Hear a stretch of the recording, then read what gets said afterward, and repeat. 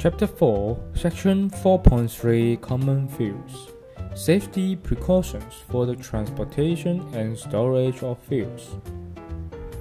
We obtain and store the fuels at different places. Then we have to transport the fuels for a long distance before they are used. For example, the petrol is imported from other countries by tankers. Then it is temporarily stored in an oil depots. The petrol will be transported to other places by road tankers and stored underground in petrol stations. As a large amount of fuel is stored, an explosion may occur if the fuel is ignited by a spark. So we must also take safety precautions to avoid accidents during the transportation and storage of fuels.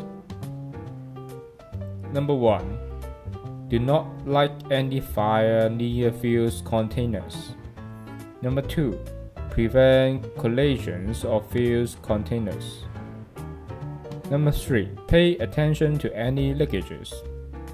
Number 4 strictly follow the government's guidelines on the safe amount of fuel stored. We may need to transport and store fuels in our daily activities. For example, you may buy some LPG cans for hot pot at home. So you should also be aware to the transportation and storage of fuels at home we must take safety precautions when transporting and storing fuels.